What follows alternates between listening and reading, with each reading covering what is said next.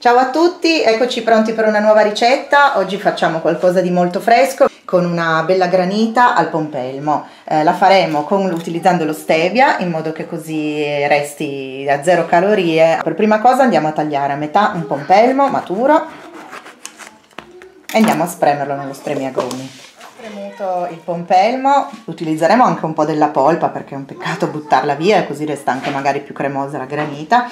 Io ho preso un contenitore che può andare bene nel freezer questo di plastica ed è piccolino perché io lo farò una dose per una o due persone.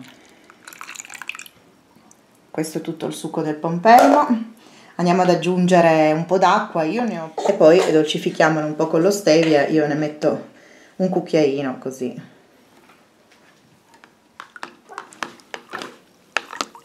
vado ad aggiungere un po' della polpa senza prendere i semi. Poi assaggiate regolatevi per lo zucchero. A me alla fine un cucchiaino basta perché ho assaggiato e come dolcezza andiamo a metterlo nel freezer. E per due o tre volte ogni mezz'ora dovremo andare a tirare fuori il barattolino dal freezer e a rompere i cristalli di ghiaccio che si stanno iniziando a formare eh, per far venire la granita è trascorsa un'ora e mezza da quando l'ho messo in freezer.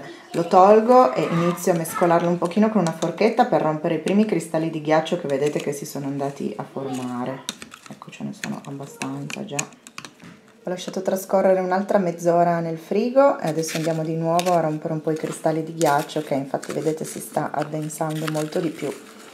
Poi passiamo di nuovo un'altra mezz'ora nel frigo e andiamo di nuovo a mescolarlo un pochettino. È trascorsa un'altra mezz'ora, vedete adesso sta prendendo proprio consistenza perché sta diventando proprio ghiacciata. Andiamo a rompere bene il ghiaccio.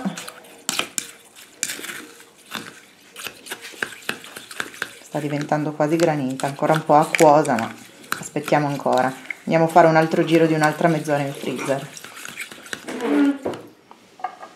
Eccola dopo di nuovo un'altra mezz'ora di freezer e adesso direi che è pronta perché è abbastanza cremosa e ha fatto proprio i pezzettini di ghiaccio come la granita.